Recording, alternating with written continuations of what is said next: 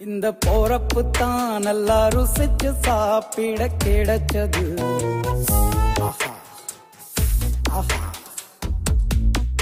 அத நினைச்சு தான் மனோ போல